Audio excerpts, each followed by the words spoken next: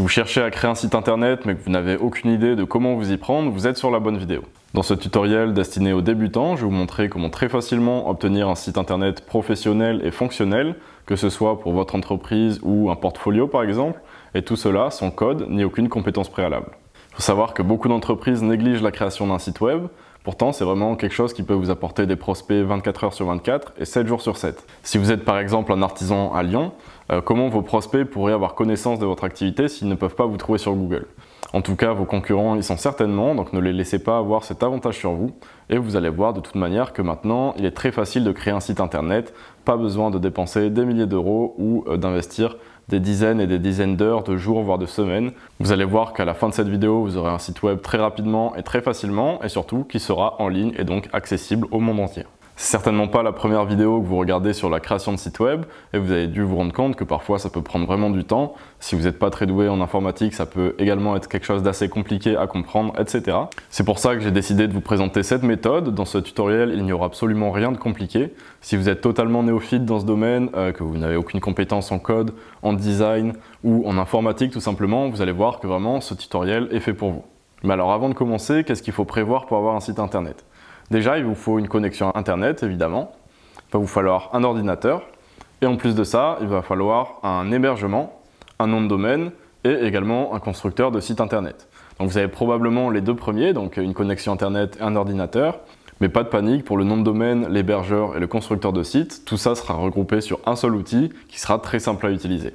Pour que vous compreniez bien euh, comment fonctionne un site internet, dans un premier temps, il vous faut un nom de domaine, comme je l'ai énoncé plus tôt. Donc le nom de domaine, ça va être l'adresse de votre site web. Par exemple, sur YouTube, le nom de domaine, c'est youtube.com. Sur le site LaFnac, ça va être lafnac.com. Et euh, sur Facebook, par exemple, ça va être facebook.com. Ça, c'est le nom de domaine, donc l'adresse de votre site web.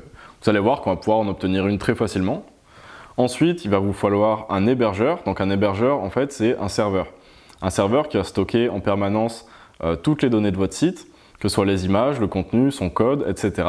Et tout cela devra être stocké 24 heures sur 24 et 7 jours sur 7 afin que votre site puisse être consulté en ligne en permanence. Ce type de serveur, ça peut coûter plusieurs milliers d'euros, mais on a juste besoin d'une petite fraction de celui-ci pour pouvoir stocker son site.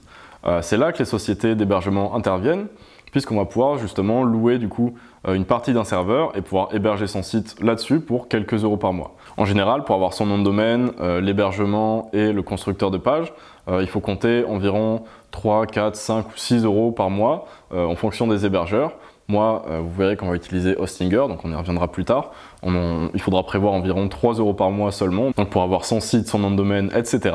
Et surtout, on aura enfin le dernier point que j'avais énoncé plus tôt, c'est-à-dire le constructeur de site.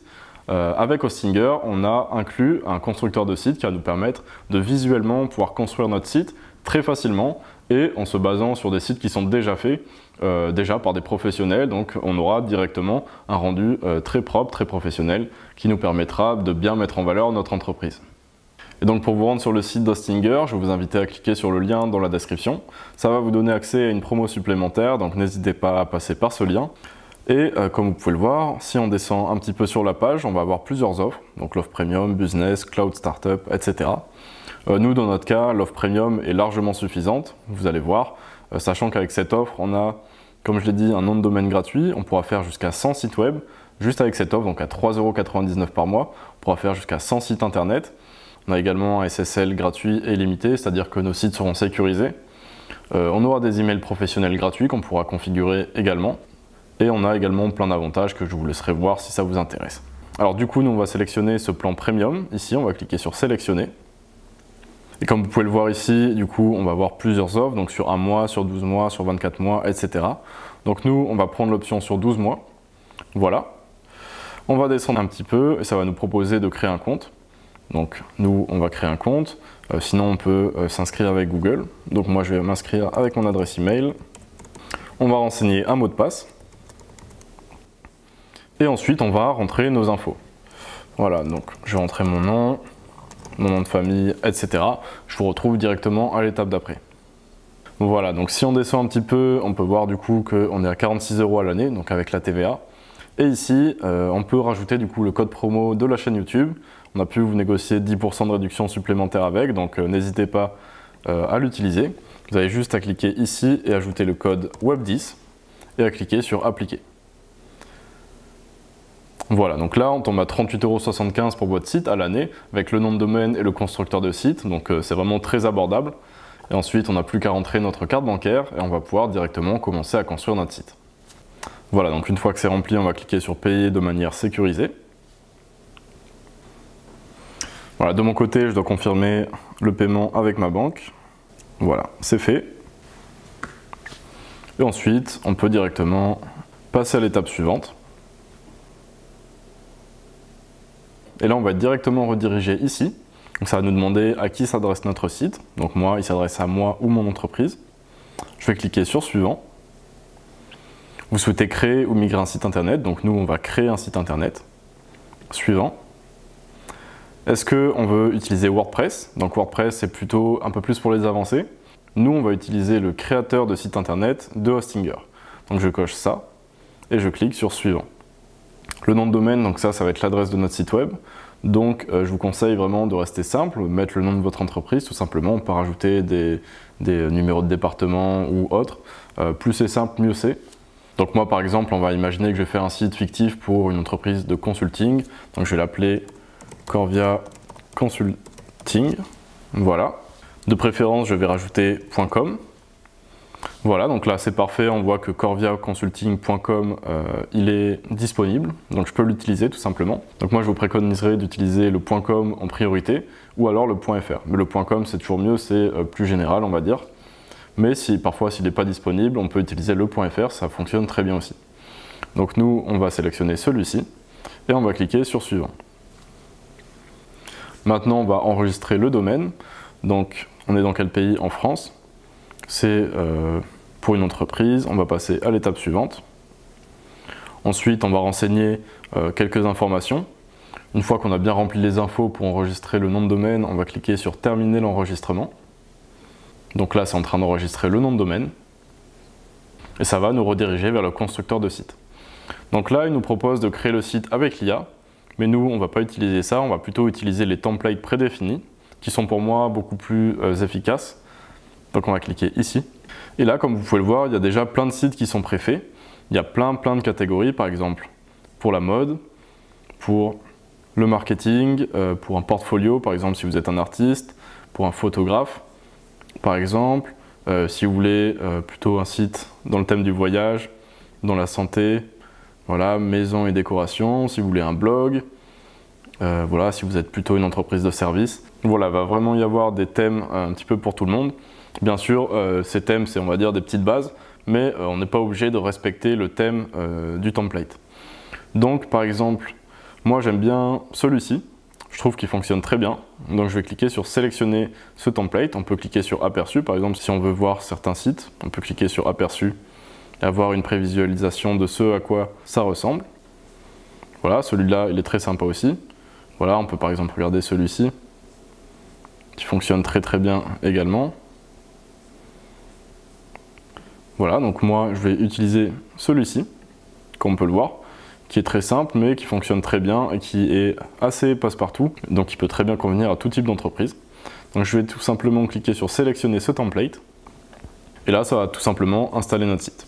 Voilà, donc ça a été assez rapide. Là, comme on peut le voir, on a déjà notre site qui est là et avec le constructeur de page, on va pouvoir modifier tous les textes, euh, toutes les images, ajouter des sections, ajouter des choses, supprimer d'autres choses. On va vraiment pouvoir euh, construire le site à notre image. Donc pour commencer, ce qu'on pourrait faire, c'est changer cette image de fond. Moi, je suis une société de consulting, donc je vais prendre quelque chose d'un petit peu plus corporate. Donc je peux cliquer ici sur la section et cliquer sur modifier la section. Et ici, en arrière-plan, on va pouvoir remplacer l'image.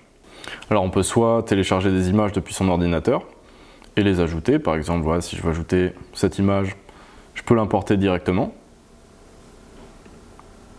Voilà, par exemple. Ou alors, ici, si on va dans Images gratuites, on va avoir accès euh, à toutes les images du site Unsplash. Donc Unsplash, c'est une banque d'images gratuite et libre de droit qui a des images de très bonne qualité. Donc ça peut très bien euh, nous servir et nous dépanner, en tout cas si on n'a pas d'images de très bonne qualité à mettre sur notre site, on peut très bien trouver de très belles images. Euh, donc la recherche par contre, il va falloir la faire en anglais. Donc si vous n'êtes pas à l'aise avec l'anglais, vous pouvez simplement mettre votre mot-clé en français, donc Google Traduction, et mettre sa traduction en anglais. Par exemple, moi je vais mettre plutôt des images de bureau, donc je vais taper Office. Et voilà, par exemple, je pourrais mettre cette image. Également, opacité de la superposition. Ici, on peut l'augmenter un peu pour bien faire ressortir le texte, comme ça. Voilà, ça donne déjà une ambiance assez différente. Et on peut également changer le titre. Voilà, on peut voir maintenant que ça se superpose, mais je peux venir que ça superpose avec le bouton, pardon, mais que je peux venir le déplacer comme ça et déplacer un peu le bouton comme cela. Le bouton, je peux également changer le texte et mettre par exemple en savoir plus, comme cela. Ensuite, je peux un petit peu descendre et là, je vais pouvoir modifier comme ça toutes les sections. Par exemple, ici, je vais mettre à propos de Corvia Consulting. Voilà. Ici, je peux mettre le texte de mon choix, le bouton également, je peux le modifier et mettre en français lire plus. Voilà, donc on, configurera les liens des boutons après, vous verrez, ça, va être très simple également. Pareil ici, je peux venir mettre euh, nos projets par exemple. Ici, je peux venir changer les textes. Par exemple, on va dire qu'on a fait un projet euh, de consulting digital pour Google, soyons fous. Euh, une formation pour Amazon, par exemple. Et euh, on a créé un site web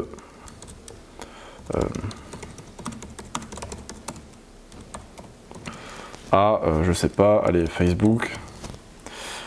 Voilà. Ici, le bouton, on peut mettre voir les projets. Comme cela, donc c'est vraiment très simple, hein, comme je l'ai dit. Et ici, on peut venir modifier les images et les remplacer par les images de nos projets.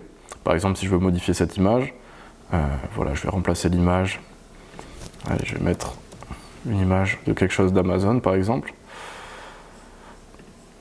Voilà, comme cela. D'autres fonctionnalités dont je ne vous ai pas parlé encore, mais ici, si vous sélectionnez le texte, alors vous pouvez soit cliquer une fois et cliquer sur modifier le texte, soit vous pouvez double-cliquer. Et si vous voulez sélectionner le texte, ici vous pouvez par exemple sélectionner euh, la typographie, donc vous avez plein de typographies qui sont à disposition. Voilà par exemple. Ici vous pouvez retourner en arrière. Vous pouvez également changer la taille de la police, la voir plus petite ou plus grande, la mettre en bold, donc en gras ou non, en italique, en souligné, etc. On peut également changer sa couleur ici. Voilà, donc moi je vais le laisser en blanc. Comme la section, si je sélectionne la section, ça va être la même chose. Je peux venir modifier la section et changer la couleur d'arrière-plan. Voilà, je vais la laisser en noir. Je peux également euh, changer ce noir par une image par exemple si j'en ai envie, ou même une vidéo. Donc, donc on va laisser euh, une couleur, donc le noir. Et comme ça, on va pouvoir modifier un petit peu euh, tout notre site. Donc voilà, ici, je peux modifier mon texte, le bouton également. Je peux venir changer le texte. Ici, par exemple, voilà, ça me met trois services. Donc je vais mettre euh, consul, consulting digital, site internet, formation web. Et par exemple, si j'en voudrais une quatrième, je pourrais sélectionner ça, le remonter un petit peu, sélectionner ça, le remonter un petit peu également, et venir dupliquer du coup le 3, et également dupliquer ce texte-ci, voilà, et du coup rajouter mon quatrième service qui serait euh, par exemple marketing digital, voilà. Donc là, je vous montre simplement comment utiliser le site web, donc ce builder. Vous voyez que c'est vraiment quelque chose d'assez simple. On peut très facilement et euh, très rapidement configurer son site. Là, voilà, par exemple, ici, j'ai envie de changer cette image. Donc je peux venir ici, modifier la section, changer l'image, utiliser une image euh, gratuite. Là, je vais aussi taper Office, par exemple, pour trouver d'autres images de bureau. Et si par exemple celle-ci me plairait, je pourrais tout simplement venir l'ajouter comme cela. Et également augmenter son opacité. Euh, je peux maintenant aussi modifier le texte et le passer en blanc. Pareil pour ce texte. Voilà. Je peux également ici, plutôt que l'aligner, euh, le justifier à gauche, l'aligner. Je peux faire de même ici pour mon titre. Et je peux venir tout simplement centrer tout ça. Comme on peut le voir, euh, lorsque je fais un cliquer et glisser, on va avoir euh, une petite ligne orange au milieu de la section lorsque notre objet, enfin lorsque notre sélection en fait, sera bien centrée au milieu. Donc ça c'est une bonne aide pour avoir un site bien, euh, bien centré. Ici, je pourrais mettre par exemple nous contacter.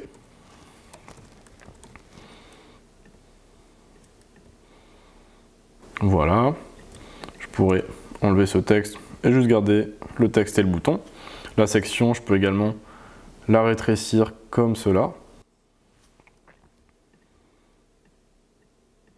Voilà, pour avoir juste donc un appel à l'action à la fin de notre page. Voilà, ici c'est assez clair, c'est pour nous contacter.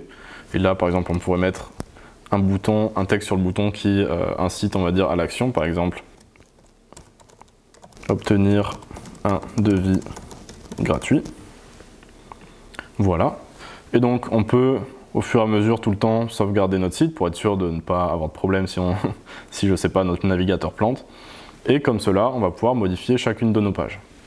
Alors comme on peut le voir, notre menu il est en anglais, et là le logo c'est pas le nôtre, donc ça on va pouvoir le modifier assez facilement. Si déjà on se rend ici dans le menu du site, on peut voir qu'il y a toutes les pages qui composent notre site. Donc il y a une page à propos, il y a une page projet, il y a une page service, y a une page contact, et comme on peut le voir, du coup, c'est pas un site avec une seule page, c'est un site qui est assez complet, qu'on va pouvoir vraiment euh, bien adapter, on va bien pouvoir présenter ses services, on va pouvoir se faire contacter. Voilà, on va même voir après qu'on va ajouter un petit formulaire de contact. Il y a également euh, une page carrière, donc ça c'est si on veut ajouter des offres d'emploi pour recruter dans notre entreprise. Mais moi personnellement ça, ça m'intéresse pas. Je pense que vous, il y a assez peu de chances que vous utilisez cette fonctionnalité sur votre site. Donc je vais supprimer cette page. Ici on peut voir qu'il y a les pages qui sont cachées à la navigation, donc la page d'accueil elle n'est pas euh, dans le menu tout simplement parce qu'elle est, on y retourne en cliquant sur le logo. Mais moi j'aime bien la voir quand même, donc je vais l'ajouter ici. Et je vais supprimer ces pages qui sont les, des offres d'emploi tout simplement. Voilà, on n'en a pas besoin. Également, on va pouvoir renommer ces pages puisqu'elles sont en anglais. Donc Home, on va la modifier par Accueil. About, on va la renommer par À propos. Project, projet, voilà. Service, on peut le laisser comme ça. Et contact, on va enlever le S, voilà. Donc là, déjà, on a une bonne base pour notre site. Voilà, on a notre euh, header. Ici, on va pouvoir modifier le logo. Pour modifier le logo, on va cliquer ici tout simplement. Et on va remplacer l'image. Je clique ici sur remplacer l'image. Et je vais télécharger, du coup, vous pouvez télécharger directement votre logo. Voilà, donc moi j'ai importé mon logo. Je vais cliquer sur sélectionner. Et ici, on peut augmenter ou diminuer sa taille. Moi, je vais un petit peu augmenter la taille de mon logo, comme cela. Et je vais encore une fois publier ma page. Voilà. Donc là, j'ai cliqué sur publier, je voulais sauvegarder, mais c'est un petit peu la même chose. Là, juste à publier notre site, mais bon, c'est pas bien grave pour l'instant. Euh, ensuite, ce que vous pouvez faire de votre côté, du coup, ça va être de modifier exactement de la même manière les autres pages. Par exemple, celle-ci, voilà, si j'ai envie de la modifier, je peux, euh, je sais pas, changer d'image, par exemple, sélectionner celle-ci, changer le titre, à propos.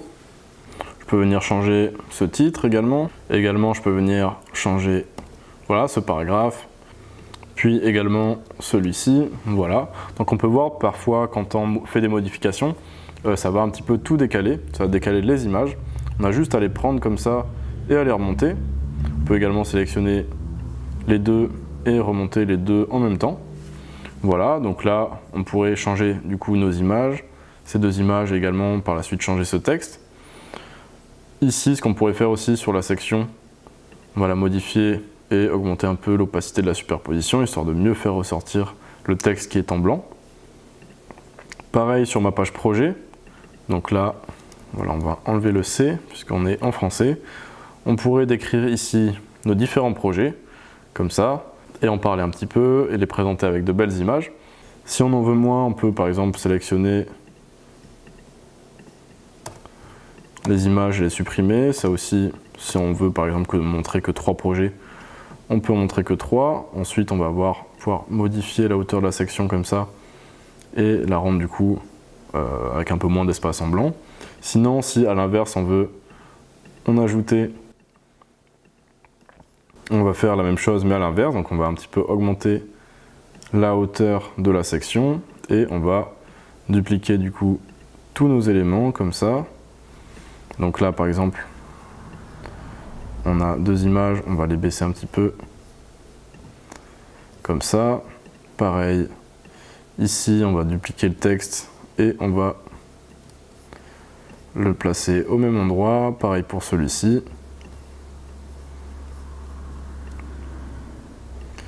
Voilà, donc on peut jouer comme ça, un petit peu tout dupliquer, tout modifier, etc. Donc euh, voilà, là par exemple j'ai ajouté un projet. Pareil pour la page service. Là ce qu'on pourrait faire c'est tout simplement changer les images et décrire nos services. Euh, service 1, service 2, service 3. Par exemple, euh, moi ce serait, j'en sais rien, création de site web et ici faire une petite phrase pour présenter notre site web. Et enfin, donc voilà, ça c'est un petit peu à vous de le faire en fonction de votre activité. Et enfin, la page contact, là je vais vous montrer une petite modification supplémentaire qu'on peut faire. Donc je vous laisserai vous changer vos textes, vos titres, etc. Ce qu'on pourrait faire ici, euh, ce serait déjà augmenter un petit peu la taille de la section, comme ça, parce que moi ce que j'aime bien ajouter dans une page contact, c'est un formulaire de contact. Et pour ça, on peut cliquer ici sur le petit plus, ajouter un élément. Et là, comme on peut le voir, si on a envie d'ajouter euh, que ce soit du texte, des boutons, euh, on peut juste voilà, venir cliquer, glisser un des éléments et le, glisser n'importe où sur notre site, et du coup l'ajouter à notre site. Et nous, du coup, ce qu'on va ajouter, c'est un formulaire de contact. Voilà, donc par exemple, j'aimerais un formulaire de contact ben, sous mes informations et mon adresse. Voilà. Comme cela. Vous pourrez un petit peu augmenter sa taille. Et également, pour avoir rendu un peu plus équilibré, on va augmenter la taille de la carte, comme ça. Là, on a une belle section contact. Je vais un petit peu réduire la taille de la section. Voilà. Donc là, on a une belle page contact. Hein. Je vous invite, vous, à bien changer les images, les textes, etc. Ici, si je clique, par exemple, sur modifier la carte, on va pouvoir changer l'adresse. Par exemple, si je mets avenue Champs-Élysées, voilà, ça me met directement du coup l'adresse que j'ai renseignée sur la carte. Euh, sur le formulaire de contact, ici, si je clique sur modifier le formulaire de contact, on va pouvoir renseigner dans email du coup euh, là où on reçoit euh, les mails. En tout cas, dès qu'une personne remplira ce formulaire, on recevra directement un email avec tout ce qui a été inscrit dedans. Donc on rentre son adresse email ici. Si on va dans champ, on peut venir modifier les différents champs. Par exemple, ici, on va plutôt mettre nom, votre nom. Voilà, le deuxième champ, donc ça va être prénom, votre prénom, ici email, votre email, et enfin le dernier message, on va le laisser comme ça, juste on va changer. Mettre entrer votre message. Voilà. Donc là, on a notre formulaire de contact qui est bien sympa. Le bouton, on peut également changer du coup euh, ça par envoyer. On peut également positionner le bouton plutôt à gauche, comme ici on est plutôt aligné à gauche. On peut même un petit peu voilà, aligner la map à ça. Et là, du coup, on commence à être vraiment pas mal. Ici, on peut également changer ça par le nom de notre entreprise, Corvia Consulting. Voilà, pour également ici changer les adresses, etc. Et donc là, je vais encore cliquer sur mettre à jour le site. Donc là, déjà, en euh, quelques minutes, on a eu un site vraiment très professionnel. Déjà, à l'heure actuelle, si je clique sur voir sur le site, on peut voir que si on va à l'adresse du nom de domaine qu'on a enregistré, on a notre site qui est en ligne. Donc là, c'est incroyable. En quelques minutes, on a un site qui est en ligne, qui est super propre.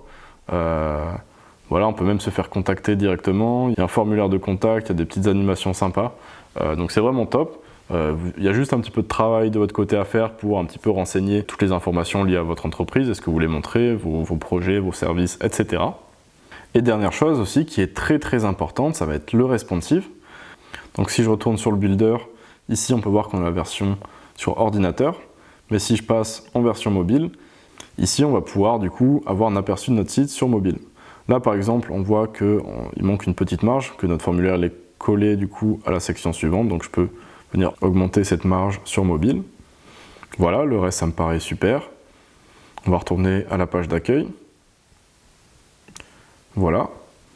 Donc là, on a notre texte. Peut-être qu'il est un peu grand. Donc je vais modifier le texte. Et je vais modifier sa taille. Comme ça, même peut-être un peu plus petit. Voilà. Sinon, je vais le mettre en 40. Voilà. Ici également, on va un petit peu augmenter la taille de la section. Voilà, le reste, ça me paraît super.